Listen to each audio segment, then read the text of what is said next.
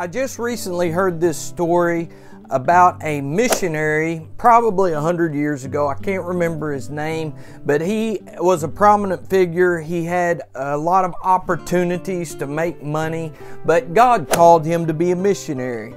He accepted the call of God and said, I will go for you.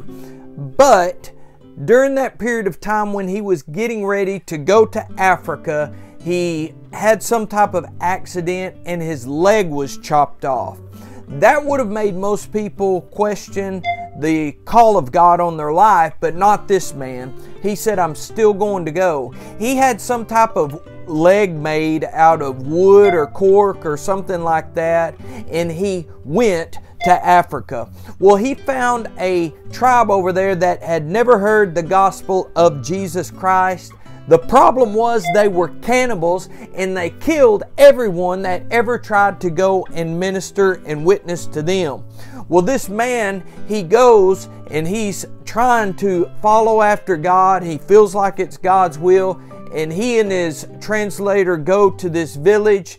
And sure enough, they pull their spears out and they're going to kill him and eat him.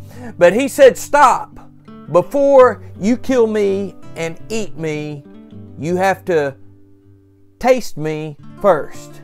And he pulled his leg up and pulled his knife out and he cut a piece off of that old cork wooden leg. And he grabbed it and he gave it over to the chief. And the chief put it in his mouth and started to chew. And he said, Ugh, this white man not good. And this missionary ended up preaching the gospel to these people, and they were saved, they were delivered, and they were changed by the power of Jesus Christ. This is Good Friday, but what could be so good about it?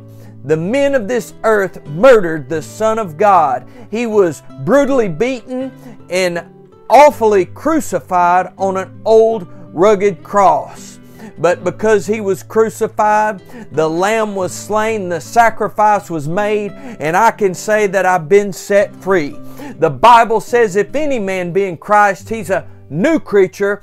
Old things are passed away. Behold, all things are become new. But it's all because of Jesus Christ. Had he not died on that old rugged cross and shed his blood to wash away my sins, then I'd still be lost and that verse would not be relevant to you or to me. But Jesus Christ died. It was a bad day. It was the worst day. But now I can say it led to my best day because I'm saved. And I don't know where you are today. You may be having a bad day. You may be overcome or overwhelmed with the sin and the cares of this world. But I've got good news for you on Good Friday. Jesus Christ died for you. Jesus Christ shed His blood so that you could be delivered and set free. Won't you pray right now? Won't you believe on Him right now? Won't you celebrate right now? Because it's Good Friday. God can turn something bad, the missionary losing his leg, how awful is that? Into something good, a native tribe of cannibals being saved. He can turn your test into a testimony. He can turn your mess into a message. Let's celebrate this Good Friday because Jesus took something bad and turned it into something good, and He can do the same in your life today.